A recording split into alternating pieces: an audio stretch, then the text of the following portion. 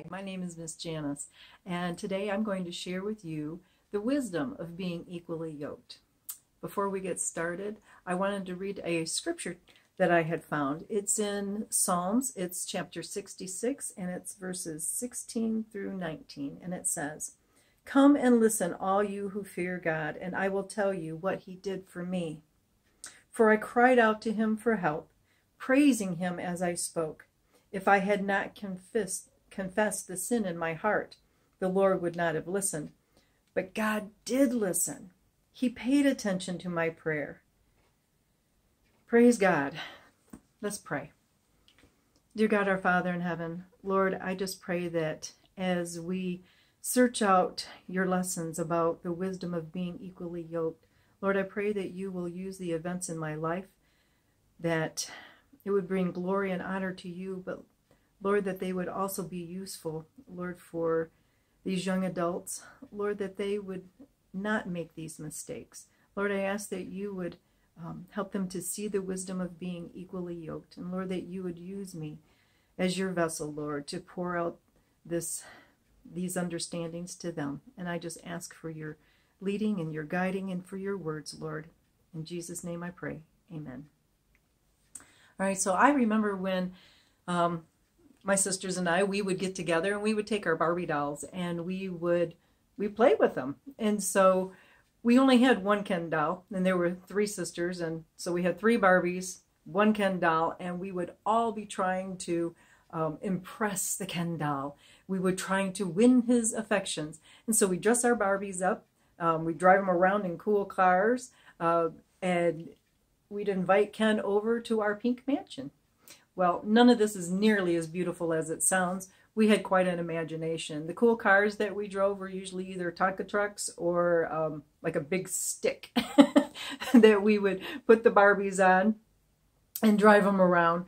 Um, and really, the mansion was really just a shoebox that we colored with a pink crayon. Um, just hold on. I'm going to set my Bible down, so I'm going to kind of like, you'll see me go up and down. All right. So, um, but all this we did just to impress the Ken doll, to win his heart. Uh, we had no idea what real loving relationships were all about. And, you know, I guess as I got older, I really still didn't have any idea. I remember sitting in a teen class and the subject of being equally and unequally yoked came up. And I really just had no idea what that meant. So um, I want to help explain a that a little bit to you. So I, um, well, I drew a picture. Can you see it? This is a yoke. So what would happen in the olden days, they would take a yoke like this and they would put it on a cow, oxen, okay? So this part here would fit across their shoulders and then this loop here would go up underneath their neck. And so there would be two of them. There would be one here and then another one here. Now, what would happen is if you had a, a larger animal on one side and then a smaller animal on the other side, they would kind of be like this, okay? So you just imagine me with maybe, I, I'm only like maybe five foot, okay? Somebody who's six foot and, you know, weighs 250 pounds, and then there's me. So what's going to happen is we're going to be unequally yoked. so what happens is as we try to pull the burden behind us, um, one of us is going to be stronger and one's going to be weaker, one's taller, one's shorter, and we walk at different paces. And so one would be going forward, being able to carry more, and have a longer stride, and then the other one would be smaller, carrying, you know, having a shorter stride and weaker, and that would be me. so but anyway, uh, what would happen is it would cause the animals to go around in, this, in a circle. And if you're trying to plow a field, you don't want it in a circle. You want nice straight rows. And that wouldn't happen. So instead of them working together, they were working at odds you know, to one another. They, they weren't working together. And that really is my whole point. They were at odds with one another. And so that was because they are not equal. I'm going to put my picture down. As um, created people, searching out for our life mate, we want we want to have equal thinking. We want to believe in the same ways. We want to have our spiritual values to be equal. You know, I didn't think all that was really a big deal, but it is. And well, here's here's my story. So imagine a younger me, long hair, um, still short, didn't grow very tall, but a younger me. Now, I meet a really great looking guy, okay? He was, and I thought he was the greatest. I thought he was so cool because he drove a really cool car. And did I mention that he was good looking? Yeah, he was really good looking. So, anyway, I had no idea what he thought about life and what his moral values are and what was important to him. But that wasn't important to me at the time. And so I didn't really understand or the need for wisdom of being equally yoked. Now I'm now I'm not living a life with um, so at this time I'm talking about I wasn't living a life um, with Christian values. Um, so when my sister, who offers to pick me up and take me to church, um, offers that, I wasn't really sure if I wanted to. I was I was like, yeah, I don't know. And she's a pest, and she was persistent, and she called me almost every week. So you want to go to church this week? And I'd say, ah, I don't know. And but she never gave up. That's the thing. She didn't give up. And finally, I relented. All right. So I, I, really wasn't sure if I wanted to go. I wasn't sure if I would be accepted, um, be accepted back, actually, because yes, I accepted back. I this was a church that I was familiar with. It was a church that I grew up with, and the people knew me. Um, but the thing was, even though I had gone to church and even though I knew God um, and I knew Jesus, I hadn't surrendered to Him, and I hadn't let Him in my heart. And and I hadn't surrendered to his love. And even though I knew what was right, I wasn't following it. And, well, I went back to church. So, meanwhile, that great looking guy who drove the really cool car, he didn't want to go to church. I asked him, I invited him, I tried to find a way to encourage him to come to church. Um, I invited him to so many different things, so many different outings, so many um, fun things, not just church, but fellowship, you know, uh, group meetings and, and things like that.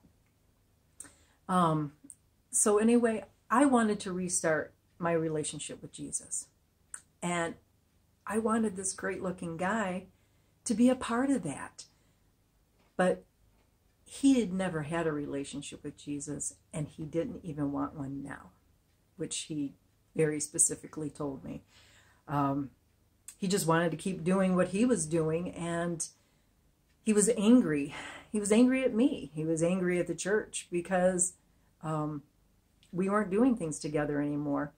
So he never wanted to go to church with me. Um, and he didn't go to any of those things, any of those group meetings he said they were nothing but a bunch of goody two shoes and hypocrites. And so we stopped doing things together. Now, you know, maybe you don't think that that sounds all that awful. So, you know, we, you know, we weren't just hanging out together, but it was more than that. I, I was feeling lonely. I felt really lonely. And now he was angry. He was angry all the time because I had changed. It was me. I had changed. Now, now there were arguments, constant arguments.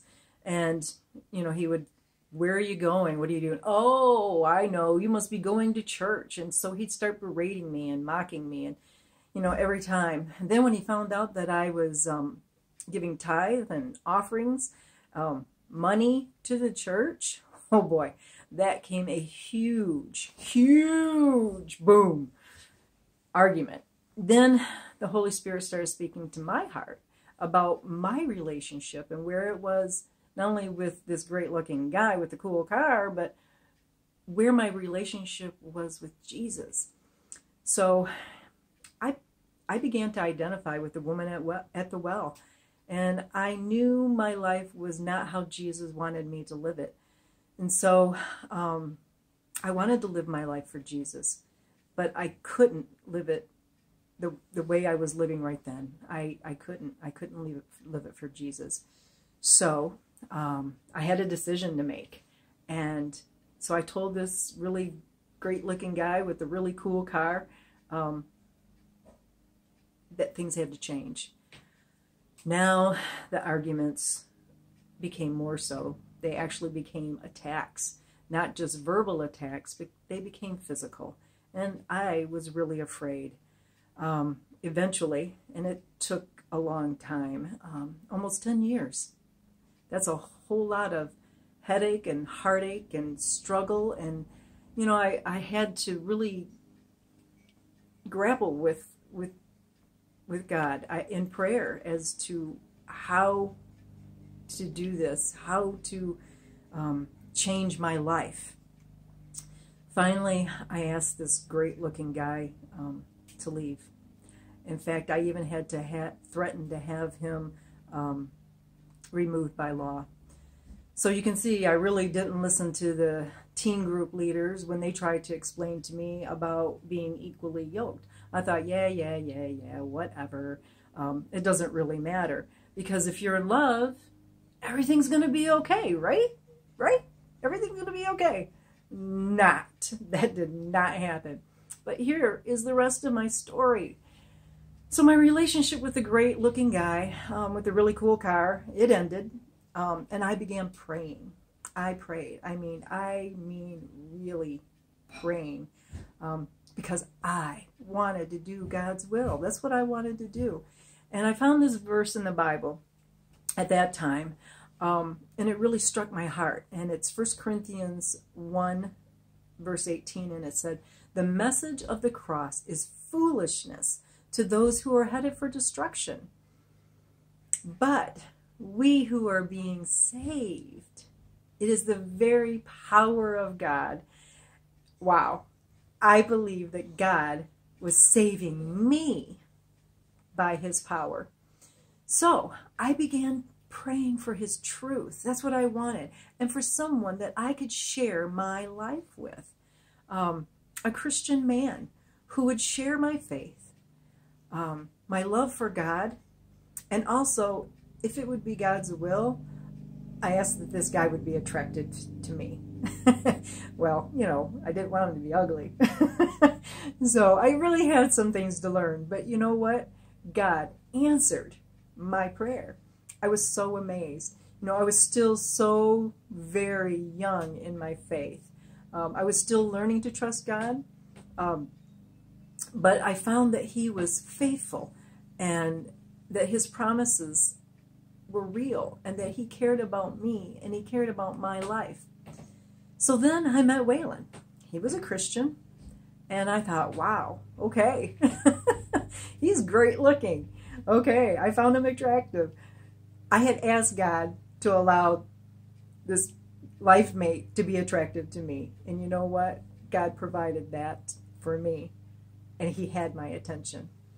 So as uh, Waylon and I um, began to study the Bible together, um, this is where God answered another um, part of my prayer His truth. I wanted to know God's truth. And that's when God introduced me to the truth of the Seventh day Adventist Church. I had prayed for it. I had prayed for a Christian man and I had prayed for truth, and He had blessed me with both.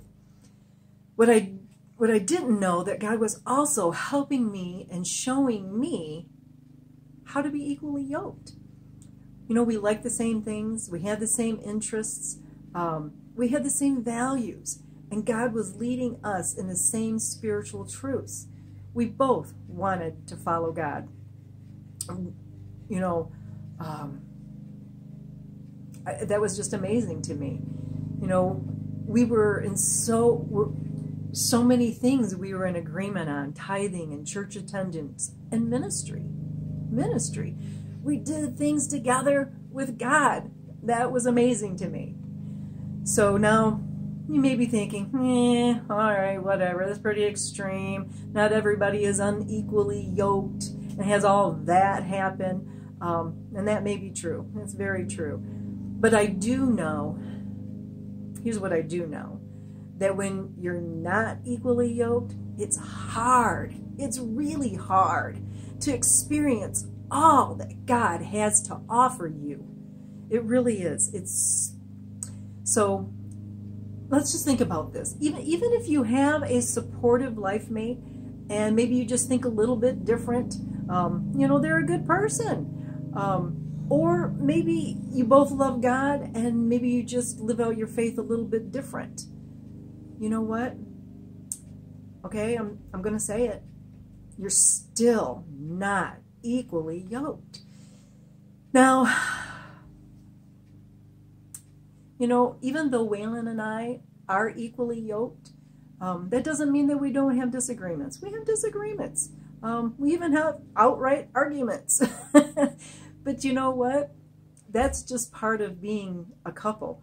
That's just life. You know, people aren't always going to agree about everything. But you know what? God has given me a life mate and a husband that loves God first, and we keep the truths of the Seventh day Adventist Church together as a couple.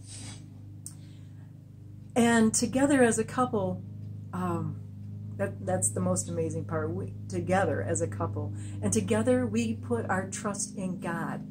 And you know what? Then we can get through this life.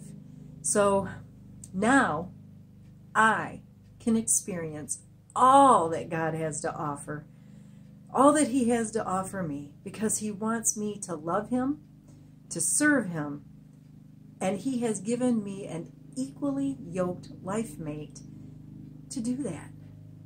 And I thank God for answering my prayers. Let's pray. Dear God, our Father in heaven, Lord, I pray for each person who is, are hearing these words. Lord, I pray that they will search out your word, that they will search out your truth, and Lord, that you would provide a life mate for them so that they can serve you together. Lord, I pray that you would just help us in all things to always want to serve you. And Lord, that as we look forward to the time that we are looking um, to find a life mate, Lord, that you will provide them with that person that you have handpicked, hand selected. Lord, that they will be praying for that person. And Lord, in the time that is just right, you will reveal who that person is for each one of them. Lord, I thank you for all that you've done for me. And Lord, I thank you that you have provided a life mate that I am equally yoked with so that I can serve you to the fullest of my abilities and that you have given me. And I just thank you. It's in Jesus' name I pray. Amen. All right. Go find that life mate.